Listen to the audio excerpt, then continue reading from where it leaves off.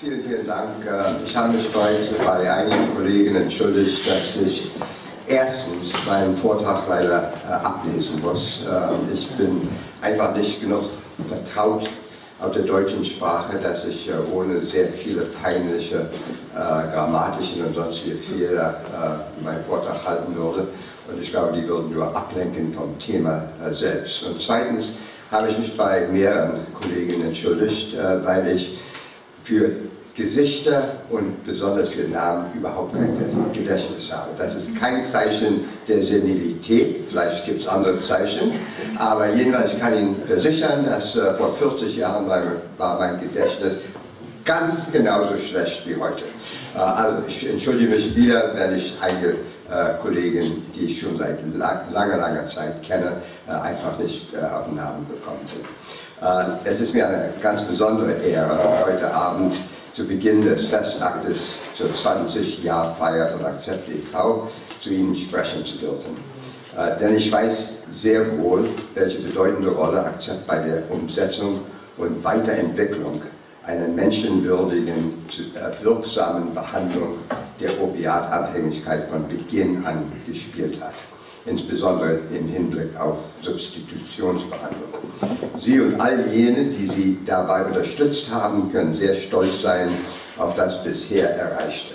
Für Kolleginnen und Mitstreiter in anderen Ländern sind die Errungenschaften in Deutschland ein wahrhaft inspirierendes Beispiel. Also, ob das innerhalb Europas ist Deutschland heute in Bezug auf die geschätzte Anzahl der Opiatabhängigen eines der Länder mit dem höchsten Anteil der Substitutionspatienten. Es sind annähernd 76.000 hier in Deutschland.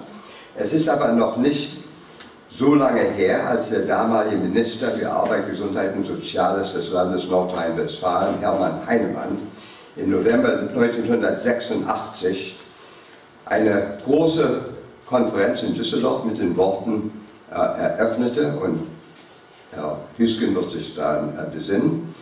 Er, ich zitiere ihn, in der Bundesrepublik gehört die Überlegung, Überlegung, die reine Überlegung, Medikamente an bestimmte Heroinabhängige zu verabreichen, sozusagen zum Tabukatalog unserer Drogenpolitik. Das war 1986 das war der äh, Heinemann. Und im gleichen Jahr veröffentlichte der ehemalige Drogenbeauftragte des Landes Berlin einen Aufsatz mit dem Titel Abstinence or Maintenance. Warum die ersten drei Worte auf Englisch äh, lauteten, weiß ich nicht, aber jedenfalls dann ging es weiter. Äh, dann ging es weiter, warum es in Deutschland kein Methadon-Programm geben wird. Meine Mutter in einem früheren Aufsatz hat dazu geschrieben, ein Hellseher war der Herr Kollege nicht. Äh, jedenfalls, äh, ich möchte Ihnen anhand von zwei besonderen Ereignissen, von einem haben Sie bereits gehört, verdeutlichen, wie dramatisch und rasend schnell sich die Situation in der Zwischenzeit äh, geändert hat. Keine zehn Jahre nachdem prophezeit worden war, dass es in Deutschland niemals Methadonbehandlungen geben würde, fand in Hamburg die Einweihungsfeier des Marie Nicewander Weges zu Ehren der Mitbegründerin der Methadonbehandlung statt. Äh, den Marie Nicewander Weg findet man äh, auf äh, jeder Google oder sonstige äh, Landkarte von äh, Hamburg. Und ich kann Ihnen versichern, dass nirgendwo sonst auf der Welt, jedenfalls bestimmt nicht in meinem Land, wird die Leistung dieser engagierten, brillanten, beherzten Ärzten durch eine Straße mit ihrem Namen äh, gewürdigt. Und ich muss hinzufügen, dass die Anerkennung dafür, die offizielle Genehmigung für diesen Straßennamen beantragt und durchgesetzt zu haben und das in Eigenregie meinem lieben Freund und hochgeschätzten Kollegen Josch von Sur, van Sur Clem von Hohenburg äh, gebührt. Ähm, der Josch war wie ich ein geborener Holländer. Ähm, auf weiteres Lob für diesen wundervollen Menschen kann ich Ihnen gegenüber verzichten, weil Akzept ja sein Andenken seit, seit 2005 durch die jährliche Verleihung eines ihm zu Ehren gestifteten Preises war und äh, äh, dem Josch van Sur Preis. Er war ein fantastischer Kollege und ein sehr, sehr guter Freund. Ähm, in 1988 beging Max Klieber, einziges Kind der verwitweten Dorothea Klieber aus Markt-Schwaben, die haben eben von ihm gehört, und 14 Jahre lang heroinabhängig Selbstmord. Als seine äußerst erfolgreiche Methadonbehandlung abrupt beendet wurde, weil sein Arzt in Untersuchungshaft kam, äh, das war wenige Monate nachdem er so erfolgreich behandelt worden war. Jahre später findet sich in einem Rundschreiben des Vereins der Drogenpolitik hierzu folgende Anmerkung. Was andere in verzweifelte Starre gestützt hätte, war für Dorothea Klieber Ansporn, den Kampf aufzunehmen. Im April 2002, das ist äh, Dorothea und ihr Sohn, ihr einziges, einziges Kind äh, Max, im April 2002 äh, erhielt Dorothea Klieber in Anerkennung ihres außergewöhnlichen Engagements für die Methadonbehandlung das Bundesverdienstkreuz. Und wie gesagt, vor vier Tagen hat diese fantastische Frau eben ihren 90. Geburtstag gefeiert. Es geht ihr glänzend, sie ist ungeheuer zufrieden mit, ihr, äh, mit ihrem Leben, mit ihren Leistungen und mit dem Erfolg der Substitutionsbehandlung äh, hier in Deutschland. Ähm, den hochdramatischen Wandel der deutschen Drogenpolitik habe ich persönlich miterlebt. In 1989 war ich als Redner zu einem Drogenfachtagung der Gewerkschaft der Polizei, also für mich eingeladen zu werden von einer Gewerkschaft von 300.000 deutschen Polizisten, das war schon allerhand. Äh, jedenfalls war er eingeladen als Redner zu einer Drogenfach, Fach, Drogenfachtagung. Ähm, ich begann mein Referat, um zu zeigen, wie sich die Zeiten geändert haben. Ich begann mein Referat mit den Worten, ich zitiere, in Deutschland und noch dazu in München, der Hochburg der Methadon-Gegner, über und gar für Methadon zu sprechen, da komme ich mir vor wie Daniel in der Löwengrube. Und dazu wird dann gleich am Flughafen München von den Löwen im bayerischen Wappen begrüßt. Äh, wie gesagt, ich habe selber diesen Wandel äh, mitgemacht, Gott sei Dank. Äh, nun, die Zeiten haben sich tatsächlich geändert und ich freue mich, sagen zu können, dass ich mich nunmehr seit vielen Jahren auf Deutschland als eines derjenigen Länder berufen kann, die beispielhaft dafür stehen, wie rasch der Auf- und Ausbau der Substitutionsbehandlung vollzogen werden kann, wenn nur der nötige Wille dazu vorhanden ist. Sie, meine Kolleginnen und Freunde in Deutschland, wissen allerdings viel besser als ich, dass ein halbvolles Glas gleichzeitig auch halb leer ist.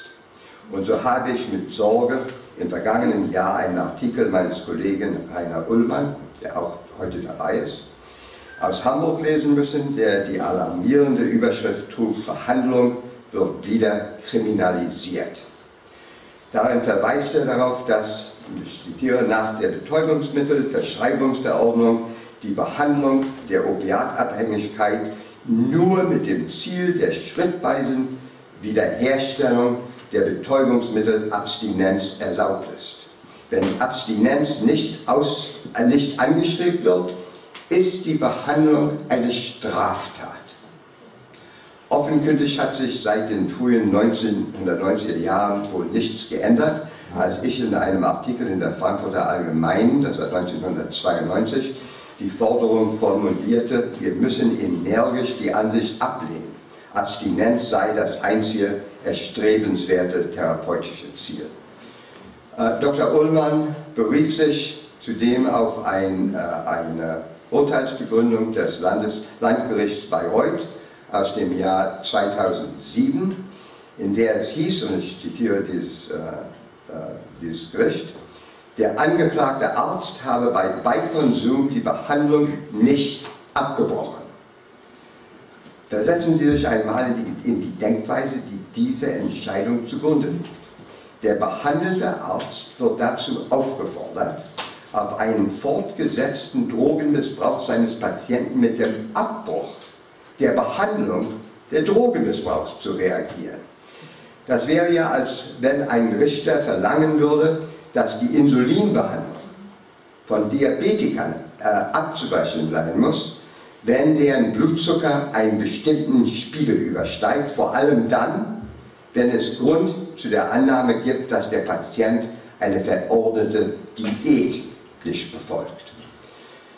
Zur unmissverständlichen Klarstellung, dass die klinische Beurteilung des Arztes im Einzelfall als völlig belanglos zu werten ist, heißt es in der von Dr. Ullmann zitierten Gerichtsentscheidung weiter, allein die Inkaufnahme langer Anfahrtswege, das Interesse des Patienten an der Beibehaltung eines Arbeitsplatzes oder die Gefahr einer, eines Wiederabgleitens in das Drogenmilieu rechtfertigen es nicht, von den genannten Regeln abzuweichen.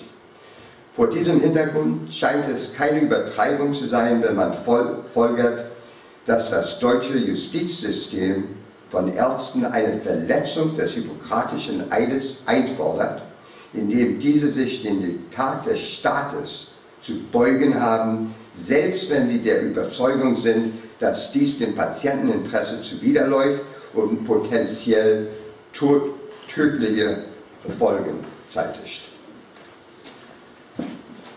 Ohne von den erstaunlichen Leistungen der vergangenen zwei Jahrzehnte ablenken zu wollen, muss, es, muss doch deutlich gesagt werden, dass das Werk von Akzept und allen anderen ihre Visionen und Engagement teilenden Organisationen und Mitstreitern noch lange nicht vollendet ist. Aber Sie haben sich sicherlich mich nicht aus Amerika eingeladen, um Ihnen einerseits in ihrem eigenen Land bereits erzielten Fortschritte und andererseits die fortdauernden drogenpolitischen Widerstände und Herausforderungen vor Augen zu führen. Erlauben Sie, erlauben Sie mir daher, Ihnen einen Einblick in einige der in anderen Regionen der Welt gesammelten Erfahrungen zu geben. Ich fürchte allerdings, dass ich hierbei aus alter Gewohnheit wieder einmal in die Rolle eines Schwarzsehers schlüpfen werde der sich eher auf das Negative als auf das Positive konzentriert. Dies geschieht aber keineswegs in der Absicht, ihnen ein Gefühl der Schadenfreude zu vermitteln, sondern vielmehr deshalb, um die ihnen entgegengebrachten, teils heftigen Widerstände in ein rechtes Licht zu rücken. Will man nämlich die oppositionelle Haltung gegenüber der Substitutionsbehandlung in Deutschland verstehen und sie überwinden, muss man nämlich ihre Universalität und Zeitlosigkeit erkennen. Lassen Sie mich äh, nun zur Veranschaulichung dessen mit einigen Beispielen beginnen, die sich mit dem Behandlungsziel Abstinenz beschäftigen. Nachdem ich auf der ersten National Conference on Drug Abuse vor mehr als 35 Jahren eine Zusammenfassung der schlagenden und einhelligen Beweise für die Effektivität der Methadonbehandlung gegeben hatte, zog ich folgenden Schluss. Nach nunmehr fast zehn Jahren, also 1974, nach nunmehr fast zehn Jahren, haben sich die Bemühungen der Programmbefürworter, die Öffentlichkeit aufzuklären und einen Meinungswandel herbeizuführen, als völliger Fehlschlag erwiesen. Es ist unfassbar, so schrieb ich in 1974, es ist unfassbar, aber in unserer heutigen Zeit liegt das Hauptinteresse darin, wie man eine effektive Behandlung einstellt. Ich glaube, das würde Ihnen nicht fremd vorkommen. Dass das Hauptaugenmerk Mitte der 70er Jahre auf äh, Entgiftung gerichtet war, wird an der folgenden Stellungnahme eines ehemaligen Leiters des höchsten US-Antidrogenbehörde deutlich. Er schrieb, es ist äußerst wichtig, Methadon als die Krücke zu begreifen, die es ist, nämlich als eine vorläufige, vorläufige Hilfsangebot, das zurückgezogen, zurückgezogen werden muss, sobald der Klient seine kranken Gesinnungen, Werte und Rationalisierungen verändert hat. Also, sehr stolz über den amerikanischen Kollegen bin ich nicht. Und das war eine der führenden äh, Figuren in der äh, Behörde äh, gegen Drogensucht in Amerika vor 30 Jahren, 35 Jahren. Und in den nächsten drei Jahrzehnten hat sich wenig geändert. 2007 äußerten sich zwei australische Autoren wie folgt in, dem, äh, in der Zeitschrift Lancet. Aus politischer Perspektive gelten diejenigen Behandlungen als populär, in deren Zielfokus das Erreichen von Abstinenz innerhalb von Wochen oder Monaten steht. Und vor wenigen Monaten verkündete ein Bericht der Narcotic Treatment Agency in Großbritannien, ich zitiere, niemand sollte auf unbestimmte Zeit auf Methadon oder ähnlichen Opiaten geparkt, geparkt. Neue klinische Therapierichtlinien werden Ärzte und Klienten auf das anzustrebende Behandlungsergebnis Abstinenz fixieren und eine zeitliche Verschreibungsbefristung wird ein ungeplantes Abdriften in eine Dauerbehandlung verhindern. Das war vor wenigen Monaten. Während sich einige Kritiker mit, die, mit ihrer kompromisslose ablehnen, ablehnenden Haltung auf das bisherige Misslingen konzentrieren, eine Einigung auf eine gemeinsame, gemeinsame Forderung nach einem universellen Abstinenzziel herbeizuführen, lehnen andere das der Maintenance-Behandlung zugrunde liegende Konzept einfach strikt ab, unabhängig von der Behandlungsdauer oder der therapeutischen äh, Zielausrichtung äh, dementsprechende äh, Beispiele sind. De dementsprechend die folgenden Beispiele. 1921, also vor 90 Jahren, die American Medical Association konstatiert, die Ärzteschaft missbilligt die Abgabe von Narkotika an Drogensüchtige auf das Schärfste. Mehr als ein halbes Jahrhundert später, in 1974, und in Anschluss an unzählige positive Berichte zur Behandlungseffizienz aus aller Welt, wurde das publiziert, was noch immer den Record als die widerlichste und abartigste Kritik aller Zeiten hält. Es stammt von Thomas Sass, einem amerikanischen Psychiatrieprofessor und hochgeachteten, wenn auch umstrittenen, Autor und Empfänger einer besonderen Auszeichnung für, Bezug, für, für vorzügliche Leistungen durch die führende Harm Reduction Organization in Amerika dieser Professor Saas schrieb, Methadonbehandlung ist die Gaskammer, in die die Schwarzen so bereitwillig gehen, wie einst die Juden in Deutschland. Ich kann nur meine Mutter zitieren mit den Worten zum Kotzen. Also sowas, es ist kaum vorstellbar. Aber das war vor, wie gesagt, 35 Jahren die Meinung äh, einer der sehr ähm, bekannten Psychiatrieprofessors in, äh, in Amerika. Um Sie nicht allzu sehr zu überfrachten und zu langweilen, überspringe ich jetzt äh, ein Vierteljahrhundert der äh, Anfeindungen und komme zum Jahr 1999.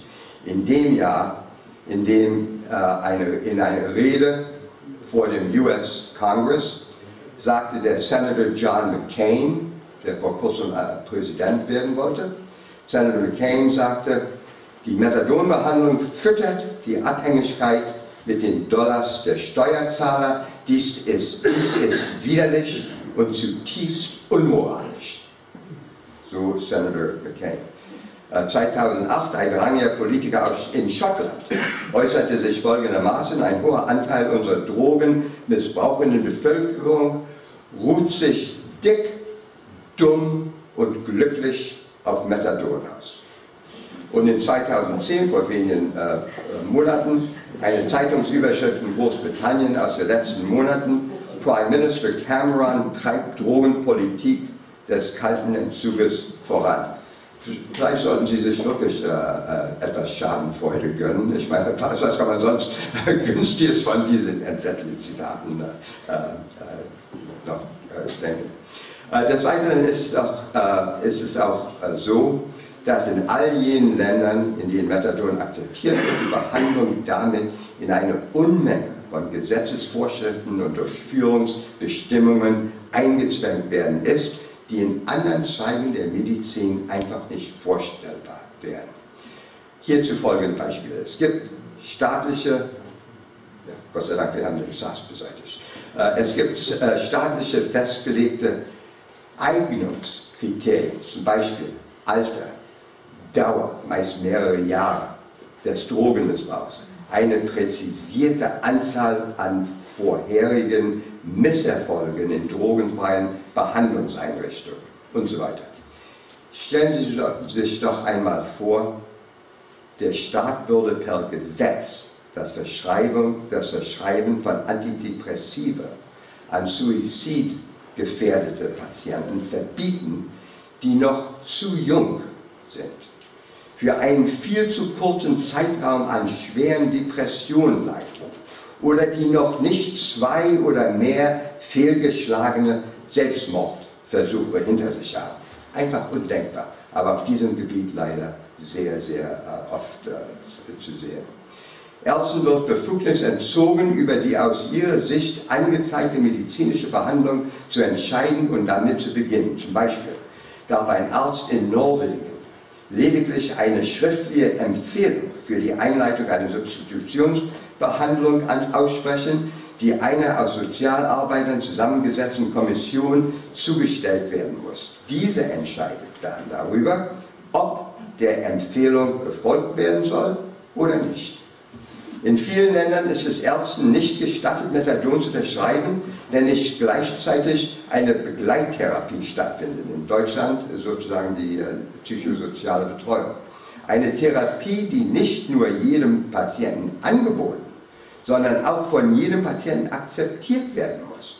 Unabhängig davon, ob der behandelnde Arzt oder der Patient selbst die Teilnahme daran für notwendig oder wünschenswert erachtet. Die Anzahl der, und Häufigkeit der durchzuführenden Labortests wird auch per Behörden, Behördenswillkur fortgesetzt, ebenso wie die weitere Verfahrensweise einschließlich der Beendigung der Behandlung, wenn diese Tests die Diagnose bestätigen, aufgrund der sich der Patient in Behandlung befindet.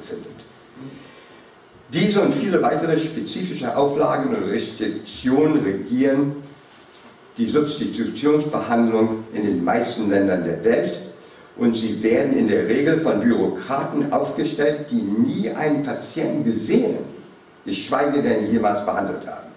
Es gibt andere Staaten, die Substitutionsbehandlung gänzlich ablehnen. Zum Beispiel Russland, wo es geschätzte zwei bis drei Millionen opiatabhängige Bürger gibt. Und wie lautet die Begründung dafür? Ganz einfach. Wir glauben nicht an die Substitution, genau wie einige Kinder nicht an den Weihnachtsmann glauben. Wir glauben nicht daran und deshalb weigern sich die viele Länder, diese Behandlung äh, zu, äh, anzubieten. Selbst dort, wo Fortschritte gemacht wurden und sich ein Land schließlich zur Einführung von Substitutionsbehandlungen entscheidet, geschieht dies in der Regel auf der Grundlage eines Pilotprogramms unter Bedingungen, die meist unabhängig von den Ergebnissen niemals im größeren Umfang in die Praxis umgesetzt werden können. Ein aktuelles Beispiel ist Kambodscha, wo kürzlich der Besuch äh, der UN General Secretary äh, Ban Ki-moon und seine Ehefrau bei der Eröffnungsfeier des ersten Pilot Methadone Treatment Center stattfand die Betriebskosten für ein Jahr 350.000 US-Dollar.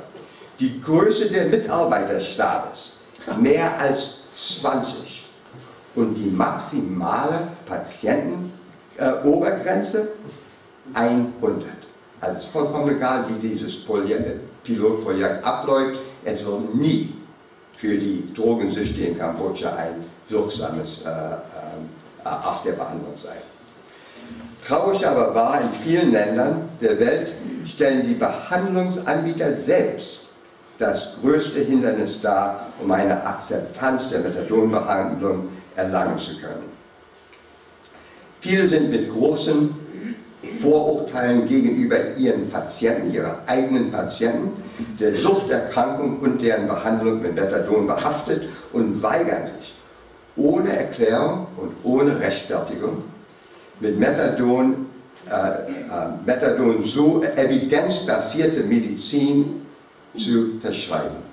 Einige Beispiele. 1989 berichtete, noch von Kambodscha, In 1989 berichtete der offizielle Newsletter des US National Institute on Drug Abuse, dass eine angemessene Methadondosis, in der Regel über 60 Milligramm pro Tag, für die Eindämmung der Verbreitung von AIDS von entscheidender Bedeutung ist. Sechs Jahre später, sechs Jahre später, ergab eine Umfrage, dass die durchschnittliche, durchschnittlich verordnete Tagesdosis in fast 50 Prozent der US-Kliniken unterhalb, unterhalb von 60 Milligramm lag. In einer erneuten Umfrage ein paar Jahre später, im Jahr 2000, wurde eine deutliche Erhöhung der Tagesdosis festgestellt, aber einer von sechs Patienten wurde weiter mit weniger als 40 Milligramm betreut. In 1999 wurden in Großbritannien landesweit geltende Behandlungsrichtlinien erlassen, die besagen, dass die tägliche Methadondosis bei den meisten Patienten zwischen 60 und 120 Milligramm betragen sollte. Und sechs Jahre später, 19, äh, 2005, stellte man fest, dass in Großbritannien die durchschnittliche Tagesdosis von 59 Milligramm auf 45 Milligramm gesunken war. Wieder unerklärlich. Andererseits, auch, auch vollkommen unverständlich, äh, in einer 2007 durchgeführten äh, Umfrage unter Methadon-Behandlungsanbietern in Großbritannien wurde festgestellt, dass ein Drittel, ein Drittel der Programme eine Erhöhung der Methadondosis als Belohnung für saubere Urinproben anboten. Unweiser. Mein Blutzucker liegt sehr tief, du bekommst eine höhere Dosis von Insulin. Also Okay. Nach so vielen Jahren, dass ich immer noch so naiv bin, dass ich darüber verblüfft sein kann, das spricht auch für sich. Aber jedenfalls, viele Methadon-Programme in den USA, aber auch in Spanien, Kanada und bestimmt auch in vielen anderen Ländern bestehen darauf, dass die Urinabgabe unter direkter Beobachtung stattfindet.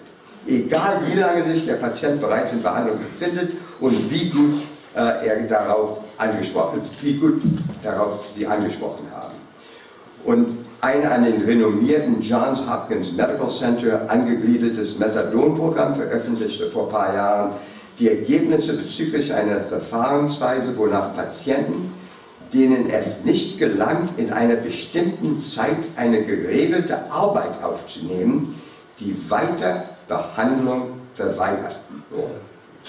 Denn selbst die Anbieter von Methadonbehandlungen solche Praktiken übernommen haben bzw. einführen, wen wundert es da, dass sowohl Kollegen aus anderen medizinischen Disziplinen wie auch die Öffentlichkeit insgesamt eine vorurteilsbehaftete Meinung gegenüber der Behandlung, den Behandlern und den Patienten haben. Ein kurzes Wort zur heroingestützten äh, Behandlung. Mein doch sehr deutlicher Enthusiasmus für Methadon beruht darauf, dass dies die Behandlung ist, die ich selber seit vielen, vielen Jahren, äh, mit der ich verwurzelt bin. Äh, dies sollte aber absolut nicht so ausgelegt werden, als würde ich Negativismus gegenüber jedem anderen Behandlungsangebot verbreiten wollen, das hilfsuchenden Abhängigen Unterstützung ermöglicht und Hoffnung bietet. Und folglich bin ich auch ein entschiedener Befürworter der heroingestützten Behandlung. Allerdings muss ich gestehen, dass ich einige Probleme mit den Pilotstudien habe, die in Deutschland, Großbritannien und Kanada durchgeführt wurden. Und ich muss hinzufügen, dass ich mit den frühen Studien in, äh, in der Schweiz und den Niederlanden einfach nicht äh, vertraut bin. Zunächst einmal war die Teilnahme auf Personen begrenzt, die auf Methadon nicht gut angesprochen haben und dies normalerweise mehrmals. Dann wurde in den äh, Modellprojekten Heroin mit Methadonbehandlung verglichen, wobei in Bezug auf die Testperson bekannt war, dass sich Methadon als ineffektiv erwiesen hatte. Ferner war das Motiv für die freiwillige Teilnahme eindeutig der Wunsch nach Heroin und nicht wieder die Behandlung zu bekommen, auf die sie bereits in, den, in der Vergangenheit schlecht angesprochen äh, haben. Gewiss konnte man erwarten, dass es diejenigen, die das bekamen, was sie wollten, besser machten als diejenigen, die über das Ergebnis der Randomisierung enttäuscht waren. Was vielleicht am meisten an den Studienergebnissen überrascht, ist nicht, dass die Heroinpatienten besser liefen als diejenigen, denen wiederum Methadon gegeben wurde, sondern vielmehr, dass so viele Methadonpatienten gut auf die Behandlung ansprachen. Die, Versuch, äh, die Versuchsergebnisse erlangten zwar eine große Publizität, jedoch wurde fast immer verschwiegen, dass gezielt Abhängige rekrutiert wurden, die von der Methadonbehandlung nicht profitiert hatten. So brachte zum Beispiel ein Artikel im Wall Street Journal über die Erfahrungen aus Kanada die Schlagzeile Neue Studie zeigt, Alternative zu Methadon ist effektiver. Und der Artikel selbst wurde mit der Behauptung eingeleitet, die Studie ergab, dass Injektionen mit ärztlich verordneten Heroin effektiver waren bei der Behandlung von Langzeitabhängigen als Methadon. Berichte in den deutschen äh, Massenmedia ähm, äh, klangen sehr ähnlich. Wenn überhaupt wurde bei der, ähm, bei der Berichterstattung sowohl in der Fachliteratur als auch in der Laien, äh, Laienpresse kaum auf die Schwierigkeiten eingegangen, die bei der Teilnehmerrekrutierung bei den Modellversuchen besonders in Deutschland, Großbritannien und Kanada auftraten. Die Schwierigkeit der Rekrutierung was auch immer die Gründe dafür waren, lässt die Bedeutung der Ergebnisse der Begleitforschung für die breite Mehrheit der Heroinabhängigen in Zweifel ziehen. Außerdem, selbst wenn es eine größere Nachfrage nach Heroinbehandlung gäbe, würden die Kosten, jedenfalls die Kosten der Modellprojekte, Deutschland, England und äh, Kanada, äh, Aufnahmeanträge in größerem Umfang ausschließen und zwar unabhängig davon, wie günstig die Studienergebnisse auch ausfallen mögen. Auch das hat kaum Beachtung äh, gefunden. Ich fürchte, für die meisten Leser heute äh, lautete die Schlussfolgerung, Methadon sei so ineffektiv in der Behandlung von Opiatabhängigen, dass sogar die Vergabe von Heroin bessere Resultate hervorruft. Falls meine Interpretation stimmt, tragen die Heroinerprobungsprojekte nicht unerheblich dazu bei, Methadon noch größer in Verruf zu bringen, obwohl sie für die überwiegende Mehrzahl der hilfesuchenden opiatabhängigen Menschen nur geringe Bedeutung hat. Fazit. Wie gesagt, meine, meine schärfste Kritikerin, meine Mutter sagt immer, du musst immer sagen, Fazit, dann kann die, das Publikum aufatmen Atmen ist es bald zu Ende. Also, Fazit. Es dürfte deutlich geworden sein, dass ich mich selbst nach so vielen Jahren auch weiterhin in unvermindertem Maße im Bereich der Substitutionsbehandlung engagieren werde. Sicherlich ist dies manchmal frustrierend, aber ich bemerke immer wieder, dass ich bei weitem nicht der Einzige bin, der sich frustriert fühlt. Im Juli dieses Jahres moderierte Dr. Christian Kroll, weltweiter Coordinator for HIV-AIDS von UNODC, eine Satellitenkonferenz in Wien mit internationalen Experten mit dem Titel Die Opi Opioid-Substitution rettet Leben, das ist amtlich. It is official. Der Sarkasmus im Titel war unüberhörbar und er war beabsichtigt, wie Dr. Kroll in seiner Einleitung deutlich machte. Er brachte seine Überraschung und seine Frustriertheit darüber zum Ausdruck, dass es in 2010 immer noch notwendig ist, eine solche Konferenz einzu, äh, einzuberufen, um immer wieder zu bekräftigen, was seit Jahrzehnten einhellige Forschungsberichte aus aller Welt unzweifelhaft belegt ist. Ja, Substitutionsbehandlungen sind effektiv und ja, sie retten tatsächlich Leben. Opiatabhängigkeit ist eine chronische, rezividierende Erkrankung, was per Definition, Definitionen bedeutet, dass sie bisher nicht geheilt werden kann. An diesem Konzept ist überhaupt nichts neu. 1920, 90 Jahre, vor 90 Jahren schrieb ein New Yorker Arzt, aktuell gibt es für die große Anzahl der an Rauschgift Abhängigen keine Heilung. Und er fuhr weiter, wir haben unsere Abhängigen angepflegt, ihnen gut zugeredet, ihnen, sie ermahnt, sie eingesperrt, sie wie Geisteskranke behandelt und zu sozialen Außenseiter gemacht und wir haben stets versagt. Zum Glück ist Opiatabhängigkeit aber eine Krankheit, die zwar nicht heilbar, aber behandelbar ist.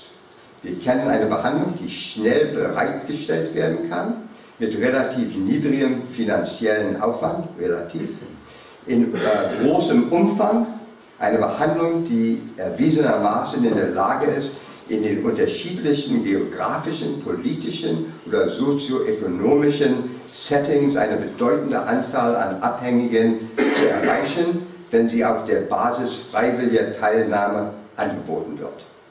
Und eine Behandlung, die einen hohen Grad an therapeutischen Erfolg aufweist. Und keine Behandlungsart besitzt das Potenzial, mehr opiatabhängige Menschen zu erreichen und ihnen zu helfen als Methadonbehandlung.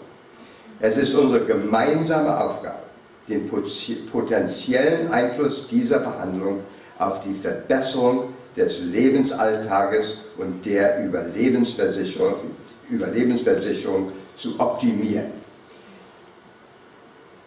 In Anbetracht dieser Herausforderung glaube ich, dass der vor kurzem in Ruhestand getretene Executive Director des UN Office of Drug Control, Antonio Maria da Costa, den Schlüssel zum Erfolg auf den Punkt gebracht hat.